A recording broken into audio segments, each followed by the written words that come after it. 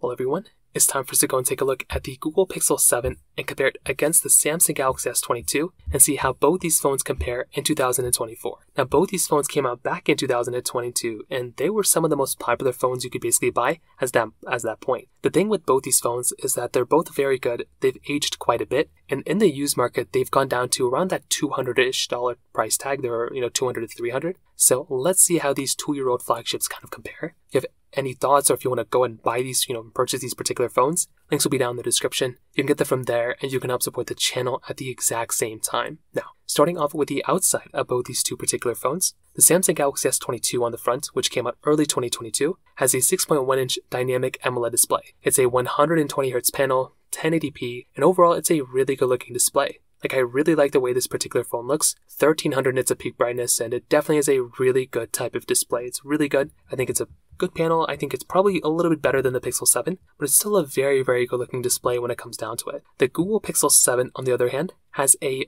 6.3 inch AMOLED display. It's 90 Hz, 1400 nits of brightness, so it's a little bit different here. One, it does get brighter, so it gets like 100 nits brighter than the Google, the Galaxy Watch, Galaxy S22. Why do I keep saying Galaxy Watch? However, it doesn't have a 120 Hz display, it has a 90 Hz display. Now, it's still a very good 90 Hz display for the most part, but it's not quite as good as the Galaxy S22's panel. I think the S22 does kind of have overall the better panel here, so just one of those things to keep in mind. But from that side, at least on the front side, I think the Galaxy S22 does look kind of better than the Google Pixel 7. On the bottom, we're getting USB Type-C ports, which is really, really good. Curved sides and a flat side kind of on both, kind of the same type of texture. However, on the back side, it is a slight difference. So with the Google Pixel 7, you're basically getting a standard glass back on the back of this thing, which looks very nice. Whereas in the Galaxy S22, we're getting a frosted glass back. So with both these phones, I think they look really nice, and I think these are very, very good phones. But I definitely will tell you, you know, here's the thing: the Pixel 7 feels good, but the Galaxy S22 feels like a flagship. If you're going to compare these phones to flagships nowadays, two years later, the Samsung Galaxy S22, from a build quality standpoint, is going to hold up better than the Google Pixel 7. So keep that in the back of your head. It isn't the biggest deal breaker in the world, but it is one of those major things to keep in mind there. Now you are getting a dual camera setup on the Google Pixel 7. The Galaxy S22 is getting a triple camera setup. So you know, another big thing to keep in mind there too. IP certification on both, wireless charging on both as well, which is really nice, and reverse wireless charging on both these phones as well. So definitely from the exterior, like I mentioned, if we're going to look at both, they're both very good phones, but the Samsung Galaxy S22 does feel more like a flagship to me than the Google Pixel 7. However, there is something else that is very, very interesting here. So in the Galaxy S22, you're basically getting a 3700 mAh battery inside of it, whereas on the Google, Pixel 7, you're getting a 4,355 mAh battery. So this is something that's also very interesting here because when it comes down to both, you're kind of getting like a 600 mAh battery extra inside of the Google Pixel 7 than the Galaxy S22. So if you're going to go and pick up a phone, like you might as well go and buy something like a Pixel 7 because it has such a bigger size battery. I think the S22 holds up really, really well from the build quality standpoint from the exterior, but practically from a battery comparison standpoint, I've done a lot of battery comparisons here and there between both these phones, but I definitely do think the Pixel 7 is a way better phone here from a battery perspective than the Galaxy S22. So from the X and from the outside, from the X side, from the outside and from the you know battery side, that kind of covers it up there for the most part. Now from the camera side, two years later, I'm still saying the same thing that I said two years ago. The Google Pixel 7 has a 50 megapixel wide and a 12 megapixel ultra wide camera, where the Galaxy S22 has a 50 megapixel wide and a 10 megapixel telephoto lens, and then a 12 megapixel ultra wide camera. What I can tell you about these two cameras is is that number one, you're getting 4K at 60 on the front and the back. You're getting an ultra wide camera on the front of the Pixel 7, which is honestly very nice. But the big thing to keep in mind here is that you are getting such a flagship type of camera inside of the Samsung Galaxy S22. This is a phone that's giving you 8K capability on the back of that phone, which is genuinely amazing. It's also such a good phone from pretty much every single other angle you can imagine it from a camera side. And I do think that is a really big thing to keep in mind. Like if you're going to go through and pick up a phone, I really do think that with that type of phone, you're going to be getting such a killer type of display and a really good camera, which makes those types of features and everything stand out and pop even more. So I do think if you're going to go through and pick up a phone,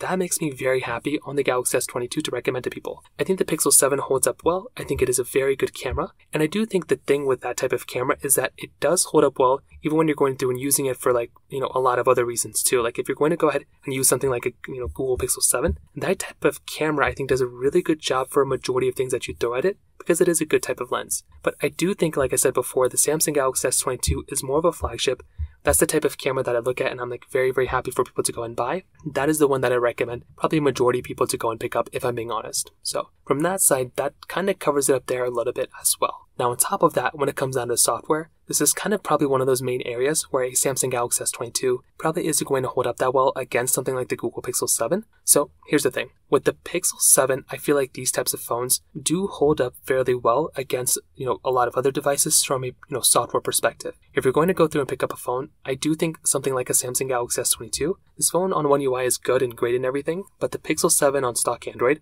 is just going to be lasting longer than something like a Galaxy S22. So why would you go through and buy a phone like the Samsung Galaxy S22 when you can go through and buy a phone like the Pixel 7 that's going to be lasting for a longer period of time. And two years later, these phones are still supported with software and everything like that, but sometimes it may just make more sense to go and buy a phone that's going to last longer than the Pixel, you know, than a Pixel 7 to be honest, but it's going to last longer than a Galaxy S22. It's funny because both these phones after these two generations, both these phone manufacturers absolutely killed it from a software side. They started doing a really good job from a software perspective, and I do think that's a really, really good thing. But these two phones were kind of the last generations there, and you can tell because of the price tags, because these things are just so much lower in price when it comes down to it. So overall, from that side, definitely goes to the Pixel 7. From a performance side, this is also a very interesting thing, because we're kind of flip-flopping all over the place. The Galaxy S22 had a Snapdragon 8 Gen 1 chipset inside with 8GB of RAM, with the Google Pixel 7 had that Google Tensor G2 chipset inside with 8GB of RAM as well. So the RAM is exactly the same between both these phones, which is a very, very nice thing to have. I'm going to tell you, if you're looking at the internals, I kind of do think that the Galaxy S22 is probably going to be giving you the overall better experience from a soft from a performance side. Although that Tensor G2 chipset was good and it probably wasn't as controversial as something like the 8 Gen 1 chipset, I kind of do feel like with something like the 8 Gen 1 chipset, you're still going to be getting a really, really good experience. Right? That type of job or that type of job, that type of phone is going to be giving you very fast speeds. That 8 Gen 1, I think Snapdragon chipsets are so much better than Qual- than you know Tensor G2 chipsets and Google's ones. So I feel like there needs to be a lot of improvements on the Tensor side, even with the Pixel 9 in this day and age. But I like the Galaxy S22. I feel like this is a better performing phone when it comes down to it. And here's the thing I'll tell you about both these phones, right? I love both these phones. They're very, very good. I think the Galaxy S22 is one of those phones that I want, I just wish it was a little bit better from the battery perspective. The battery on the S22 is just not that good, and even two years later, it's even worse. That is not the battery life I'd recommend people to go and buy. The Google Pixel 7, I think this is a phone that I like. And although it isn't as flashy as the S22, doesn't have the best camera, doesn't have the best feeling, and uh, you know, it's kind of like a 90 hertz display. I think that is a, probably a safer phone to buy than the Galaxy S22 when it comes down to it. S22 is still great, but the Pixel 7 is just one of those devices that I think might be the better one when it kind of comes down to it. So, from that side, that kind of covers it up there for the most part. If you have any other thoughts or questions, please let me know in the comment section below. Hit the like button, would mean so much, but definitely hit that subscribe button. More importantly than everything else, I love every single one of you guys. Hopefully I'll catch you guys in the next video. Peace out till then.